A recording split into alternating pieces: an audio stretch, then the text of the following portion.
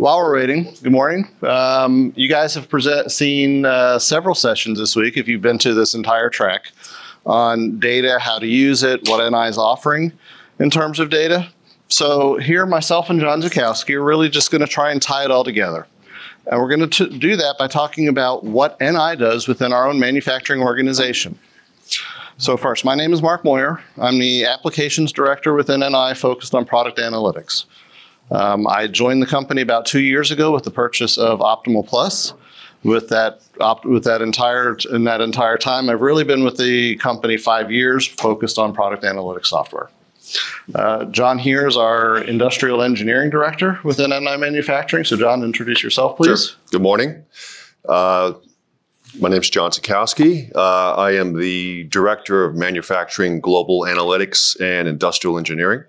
Uh, this was a role that was created just uh, in January as manufacturing. We've seen a, a, a, need, and the timing is right to bring industrial engineering, analytics, and cost engineering all together.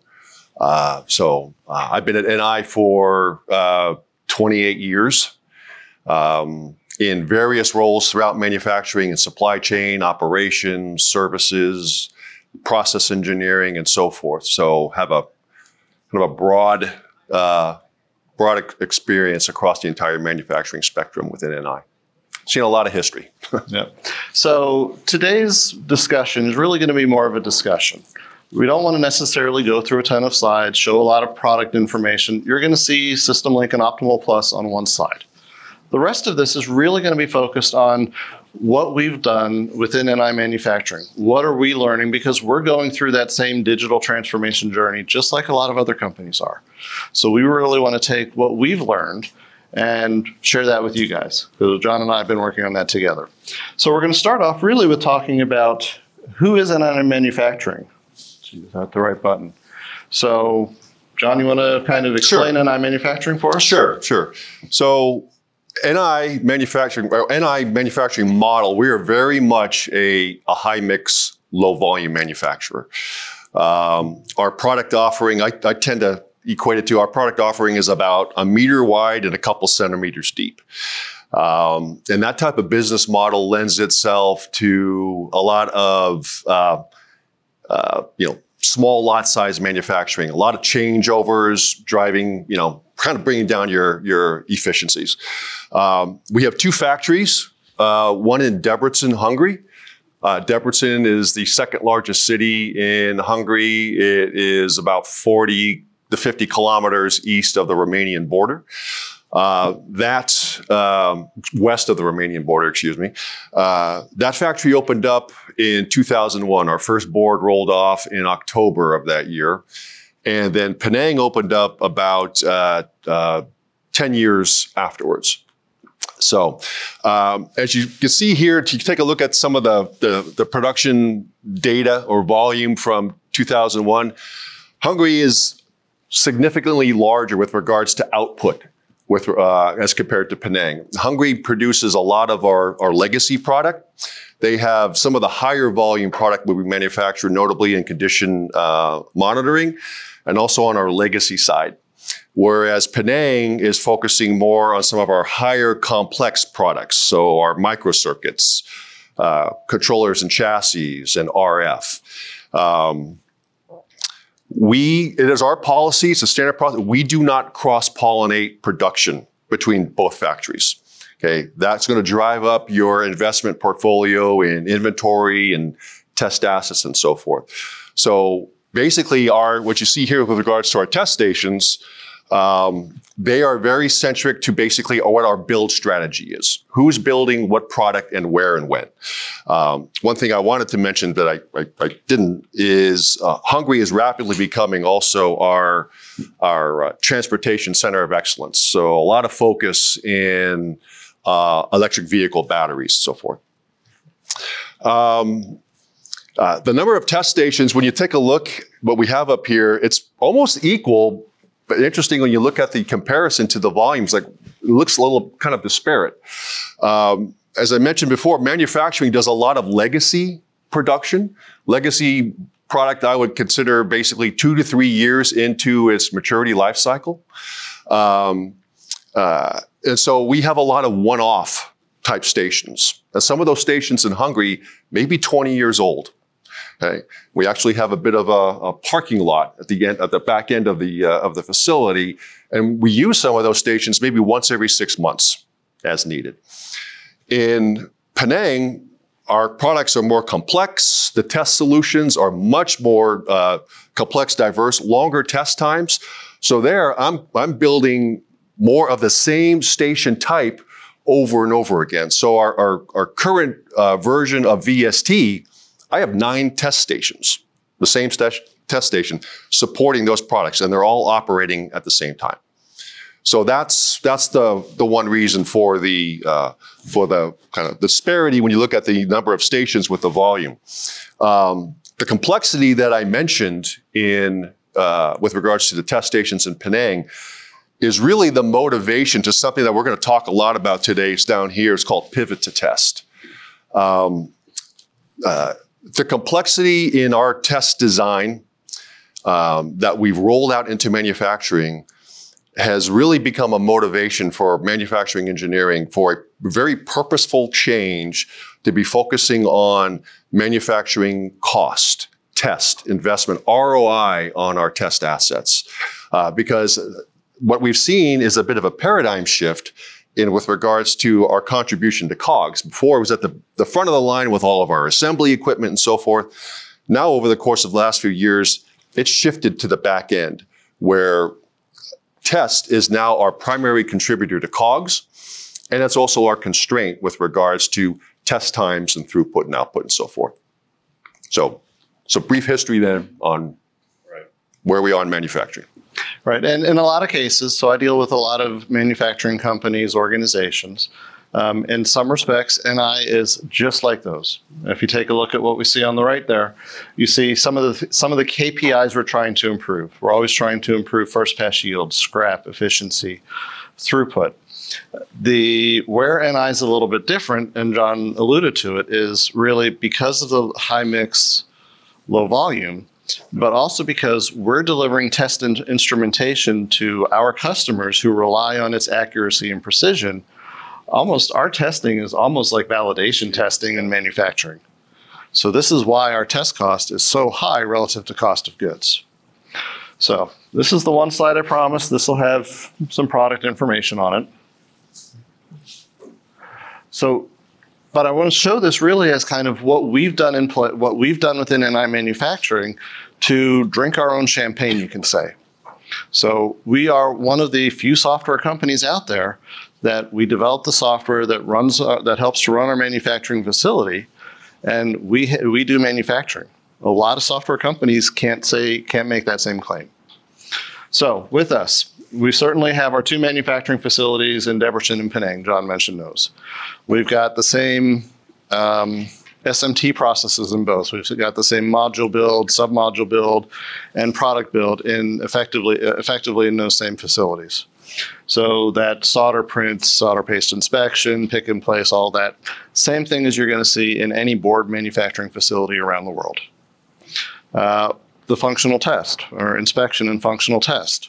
Same thing. We're using Teradyne ICT. We've got a mix of, of um, suppliers that provide our equipment. We don't just use just our own equipment because we don't make everything. So we're using a lot of other people's equipment, and but we are bringing all of this into our own software tools. So we're using SystemLink here really for two things. First, it's a means of collecting data off of all of the equipment. Now, we can absolutely use it for the test data management, but in this case, because we're also applying Optimal Plus up top, we're bringing really that test data along with all of the assembly data into Optimal Plus, as well as if you take a look at we've we've built our own data lake. Um, and that's where we're storing RMA data. That's where we're storing all the maintenance data, all of our time information, how much time is spent in each operation on the manufacturing floor. So all of that data is ultimately pulled into that one piece, that one center of truth uh, for the data. So really, this is how we've implemented um, our software stack within NI manufacturing. So this is, I'll call it our reference uh, architecture. So John, any comments or thoughts? Uh, No, Mark, I think you you hit on it. I mean, you know, one of the challenges that we have seen, um, you know, this is our main conduit using SystemLink as an API going into into Optimal Plus, but it's the diversity of the data at all of these different resources, which is a challenge, an opportunity. And I think if your company is going through the same type of transformation that we are, I would venture to guess that you're probably experiencing the same thing. Um, so, so that's it for the product discussion. Really, what we want to focus on now is what have we learned. So, first thing, and yeah, if you were here for Ron Chafee's uh, presentation just before this, you'll have seen this cycle of improvement. And when we talk about a data transformation journey, it's not a single it's not a single line. It's not something you start at point A and you go all the way to you go all the way to Z. You're going to go through many cycles as you go through this process. And what we've learned and what we've seen and what we're implementing is really you can almost think of it as a PDCA process, but first you need to measure, identify what is a problem that you want to have solved. After that, then you're going to go off and say, okay, what's the data that I need to solve that problem? And then you start to figure out how are you, how are you going to do that collection? Well, we put the strategy in place to leverage our existing tools. We are a data acquisition company as much as we are test and measurement. The heart of it is really data acquisition. So, collecting that information, going through building the analytics, leveraging uh, pre existing analytics to go through and say, how do we how can we get to the root cause can we identify this on a systemic basis and then can we act on it how do we take the action and then wash rinse and repeat. Do that same cycle over and over. Measure yourself. Take a look at where you're going. And john john is the industrial engineering manager can speak to some specific examples and a little bit more on kind of his thoughts as the ie manager. Yeah. So looking at these four steps um, I'm just thinking back to, you know, how we've been working on this over the course of the last year, year and a half, but also reflecting back on a on a, on a pilot that we did about five, six years ago um, our, our first real exposure to to uh, analytics. Is I'm looking at identify as like, what we did is we just threw a wide net out there to capture all the data that we can get, whether it's test, assembly, and so forth, and let's push all the buttons, ring all the bells, and see what we learn. And we ended up in a in a realm of uh, analysis paralysis. We just got so bogged down because we had a lot of information. What do we do with it now? Okay. What we should have done, what we have, we're doing now is we're really prioritizing exactly what are our challenges? Where do we need to focus? Um, and then not only focus on the challenges, but also prioritize those so that you don't get bogged down. Once you do that, you lose momentum. And that's really, it's really tough to kick that back up because you start to see people kind of walking away like, okay, I'm good. No, no, no. So we're going to, we're, we're we put together a very stringent or uh, I guess uh, list of priorities on how we want to go ahead and move forward. And again, really focusing on the test side. The one thing I was going to note on the collection, and I'd be interested to, to see if uh, some of the, the, folks here in the crowd are seeing the same thing. Um, we utilize Oracle as our ERP system. Okay? And Oracle is a great tool for transactions, material transactions, WIP transactions, cutting jobs, receiving, moving product through the floor. It doesn't do any type of analytics for us right now. So as a result, we've been relying on a lot of homegrown, um, disparate uh, uh, analytics tools that uh, over the course of time, you know, they've served their purpose. But what we're seeing now is the needs of the business have have superseded the capabilities of what the tools can provide. And it's that aspect of just going to this resource for first pass yield and this resource over here for failure rate and so forth, over here for throughput, very inefficient. We're actually spending upwards of 27% of our manufacturing engineering time just doing data mining. Okay. That's, uh, that's high cost. I need those engineers focusing more on strategic related activity rather than data mining. So one of the things that I think is, is a great uh, byproduct of what we're doing here is we're getting all of this now in a comprehensive system to where I could set up rules and alerts. I come in in the morning and all my information is, is, uh, is in my inbox. So I'm saving all that time doing all of that, that manual data mining. So I'm being able to get our engineers to be focusing more on strategic related work rather than the, the tactical mundane type of work. Um, the other two analyze, we've been focusing a lot working with the, the data engineers, the AEs, the data scientists, uh, developing customized dashboards. Uh, we're in the process of training um, super users out of both of our factories to take some of that responsibility on, but also be seen as a point of reference of expertise when somebody needs help. Uh, so that's a uh, that's a it's an interesting opportunity for a lot of the engineers at, uh, at, our factories to kind of take their career in a bit of a different direction. So, John, real quick. So, you yeah. mentioned the different factories. Are the different factories using this to communicate with each other better or differently? Uh, depending upon the resource, I would say much better. So from an ICT perspective, and I know we're going to talk about that here in a minute, right? Um, ICT has been our early adopters. They have really picked up the ball and run with this. Um, I'm seeing a tremendous amount of collaboration now on sharing information what's working, what's not working. Try this dashboard and so forth. Uh, so there's been a lot more uh, interface between both uh, both factories, specifically in that resource. Okay, because again, early adopters, and we are fully live with ICT now. Um, so we're seeing a lot more interface from engineer to engineer, sharing ideas, what's working, what's not working. Try this, so forth. Yep. Well, so since you spoke of ICT, why don't we just go there? Sure. So uh, I guess we, and we can go through this a few ways. So I think the first thing, why did we pick ICT? And I'll say, when John talked about the pilot five or six years ago, it was five years ago. It was the first job when it was the first activity that when I joined Optimal Plus, John and I met on my second day because the pilot was uh, actually the NI pilot. So we have we've certainly done this with many other companies, ICT is always a great starting point. But John, from your standpoint, why was ICT important uh, in this case? Well, a couple of reasons. Number one, just going through the slide, the accessibility of the data is pretty straightforward. ICT data is basically log files. Very easy, easy to access, easy to read, easy to bring into the model.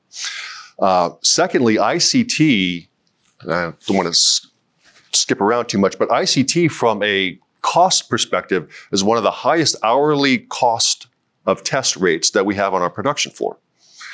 Um, very mechanical, as Mark mentioned, we've we've uh, standardized on the Teradyne platform uh, at both of our factories.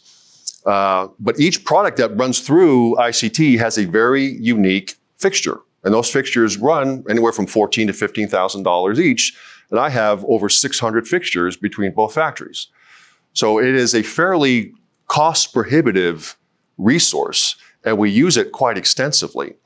And the other reason, since it's so mechanical, the amount of maintenance that we do on a, on a regular basis is, is fairly significant. Uh, we actually have four technicians across both factories dedicated solely to ICT maintenance.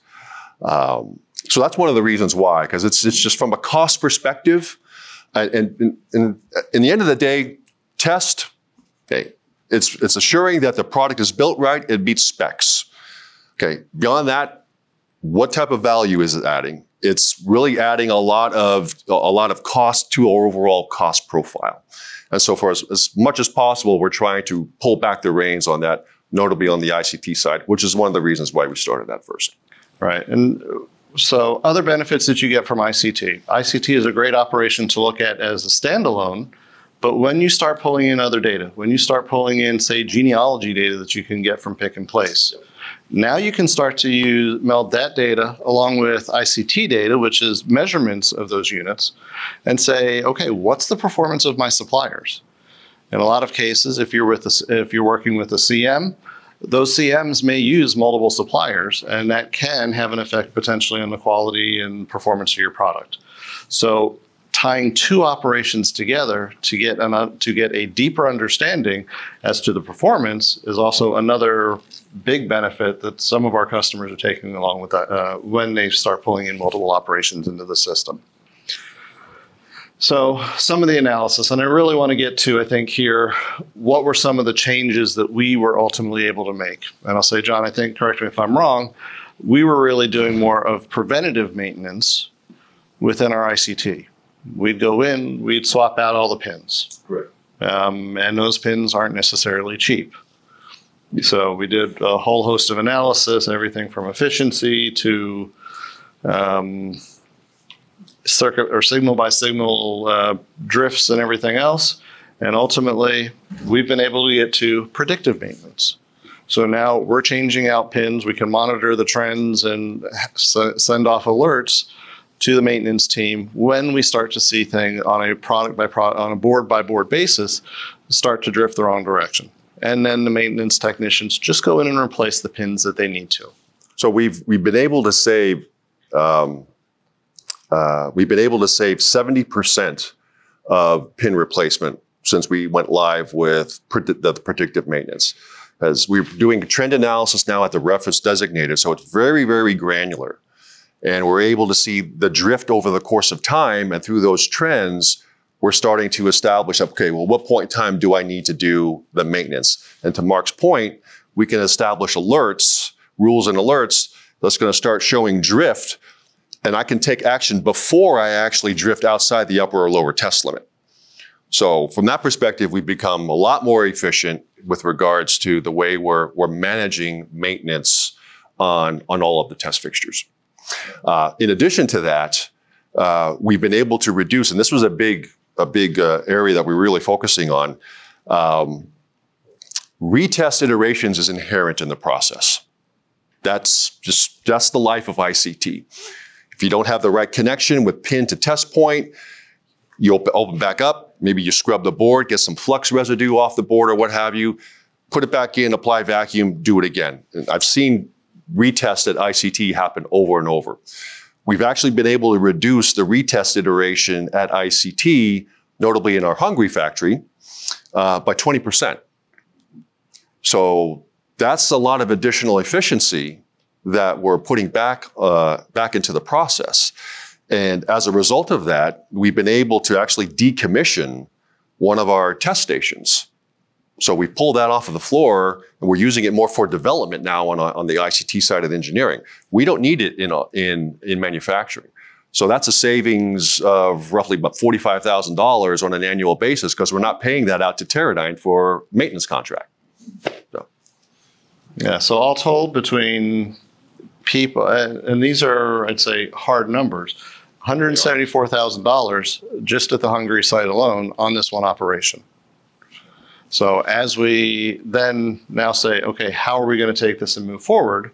And we'll get to that in a second. But I think at this point, um, what we wanted to do is show a video from the Hungary plant manager talking really about how this has helped him. Hello, everyone. My name is Robert Hosszú, Managing Director for the NI factory in Debrecen, Hungary. As part of a high-mix low-volume manufacturing operation, we have always stressed the importance of quality. Quality is the cornerstone of every improvement project to better ensure successful customer outcomes. But quality also requires efficiency. To make quality products at scale, NI must maximize the utilization of throughput of our available production assets by gaining increased visibility and transparency into their performance. This is why we strive to become a more data-centric organization to use data to better manage, plan, and execute along our quality and efficiency goals. Fortunately, as a part of NI, we have access to industry-leading solutions and expertise to set up a path to success. By implementing a continuous improvement platform based on the SystemLink and Optimal Plus technologies, we have designed a factory blueprint that will be more intelligent, transparent, and efficient. Through our internal partnerships, we have already implemented a successful data pipeline to extract product data from our test assets and quickly make it available to key stakeholders. In addition, flexibility in the Optimal Plus solution has led to the creation of numerous real-time dashboards and event-driven notifications that will keep us running smoothly and provide granular analytical data to our engineers. Moving forward, we are certain that our implementation efforts now will provide an effective platform for continuous improvement and operational excellence for years to come. Finally, I would like to recognize the proficiency, guidance, and support that our NI Lifecycle Solutions team is providing on our initiative. Their combination of operational knowledge and analytics know-how has been critical to our success. Our expertise is in manufacturing, so leveraging an outside team dedicated to a data-centric mentality is critical to deploying an effective solution with long-term staying power.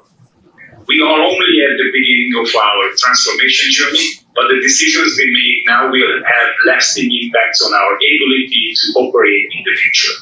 Thank you very much for your attention. Enjoy your time at NI Connect, and I wish you success in your digital transformation journey. So now we're going to spend a few more minutes talking about really what's next for us um, within NI manufacturing. So we've kind of identified three areas. Uh, John is going to talk really about the first one here because, as John's mentioned before, a lot of our spend, we spend, um, I don't know, somewhat, somewhere just south of $10 million a year on test equipment. We spend much less than that on the assembly side of the world. So certainly uh, with our manufacturing footprint, we're going to spend a lot of, we're going to really focus a lot on test. So John, you want to talk about kind of what we're doing next in the Sure. test space? Sure. So this is where we get into what we're, we're calling our initiative pivot to test. Uh, and to Mark's point, you know, before I, I moved into the role I'm in now, for the last prior to six years, I was the manufacturing test engineering manager. So basically, working with R&D test design on new test solution releases into manufacturing, the validation, and then the ramp up to maturity, and eventually, for some of our older stations, sunsetting those solutions. So but to Mark's point, we have seen a significant increase year to year with regards to the investment in test. A lot of it's due to the complex stations that we're manufacturing and the specifications we need to meet uh, uh, from a, a product spe- uh, spec perspective.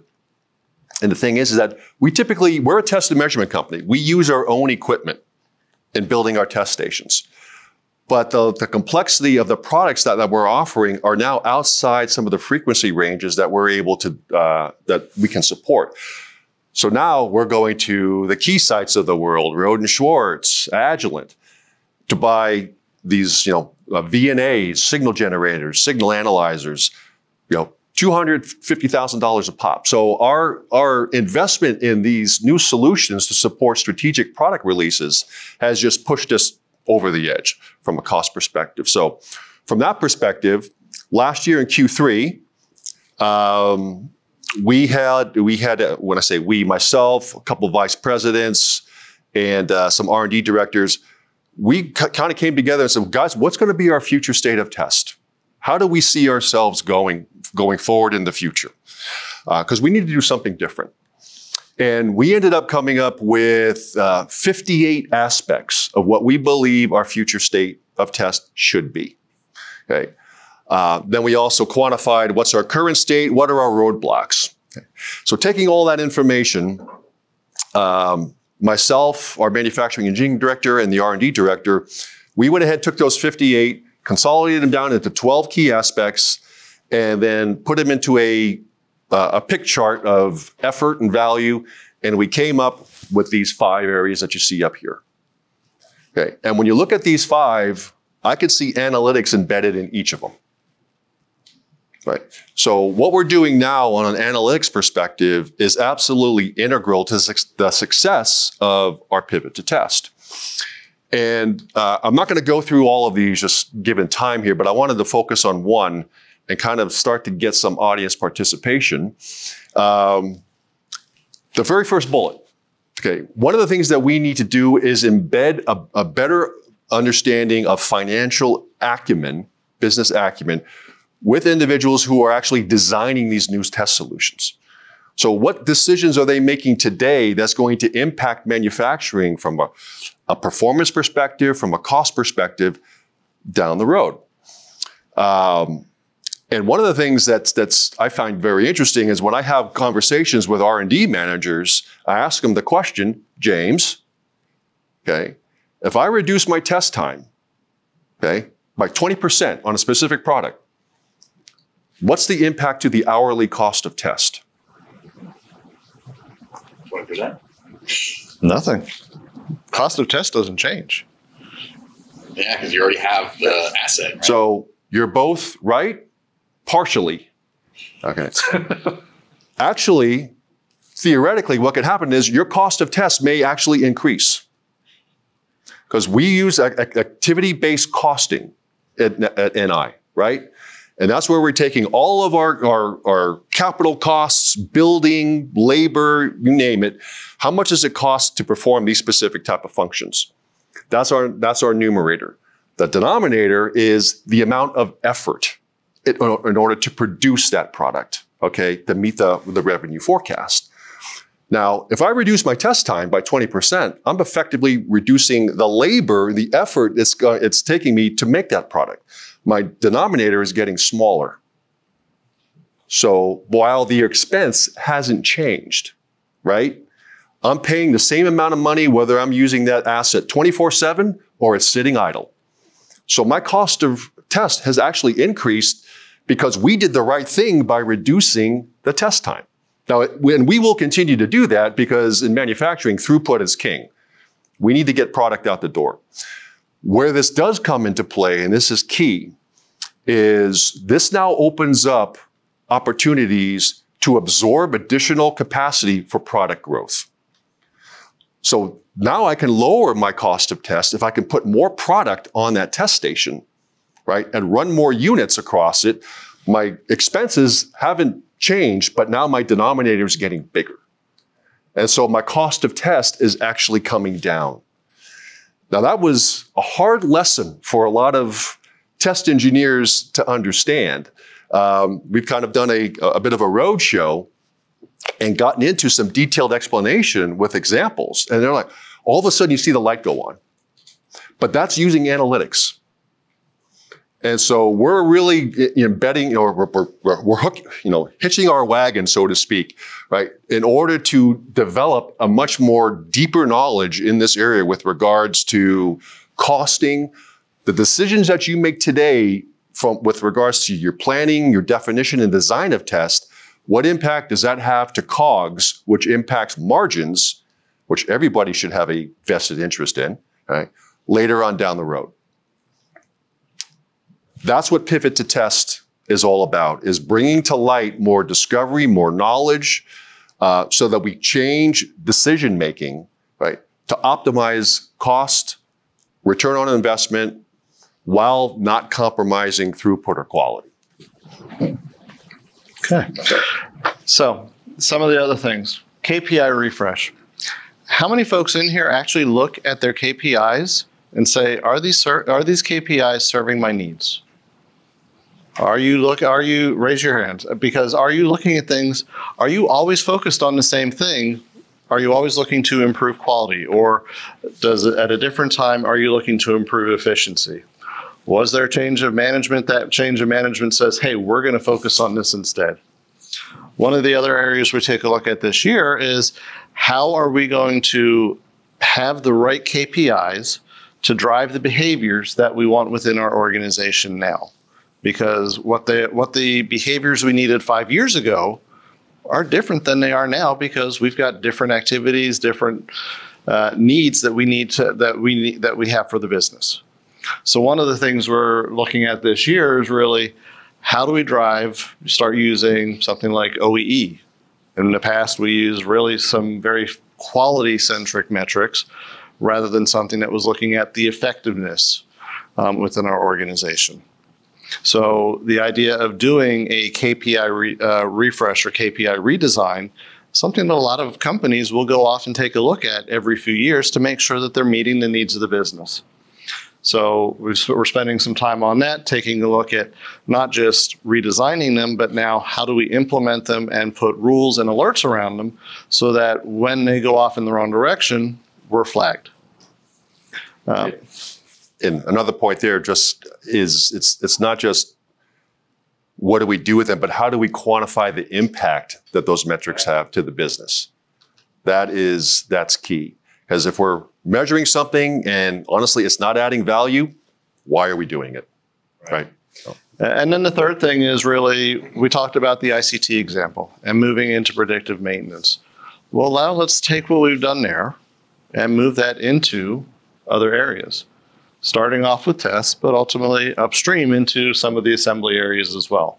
So we're working with, uh, if, if some of you guys were within the uh, AI and ML session that Alon Malky gave, we're working with his team to put some of these algorithms in place um, so that ultimately for any test order that we have, we can quickly go off and say, here's the here's how we get to predictive maintenance. Okay, so to some extent, we want to talk about what are the things we've learned. So we went through. Here's what we. Here's who we are. Here's what we've implemented. Here's an example of what we've done with with ICT and how we're taking that and moving forward. But at a thirty thousand foot view, what are the big what are the big takeaways that we've learned that we're hoping to share with you guys? And re- really, we see it as three pillars. There's a data aspect to it. So we'll talk about a little bit about that. There's a culture aspect to it. Nobody necessarily really loves change.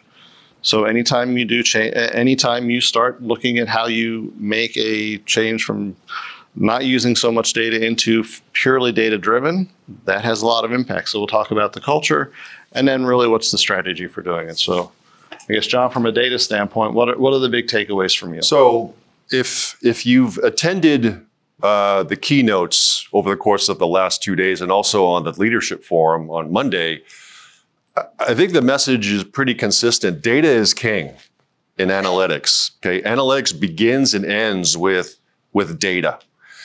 And uh, a hard lesson learned uh, so far with us is, is our data um, isn't either as accurate as we want it to be, or there's all types of different versions and iterations of code and test architecture and so forth. Um, this this is a actually this kind of comes into play with an article I read in Harvard Business Review that 97% of companies out there lack basic data quality standards.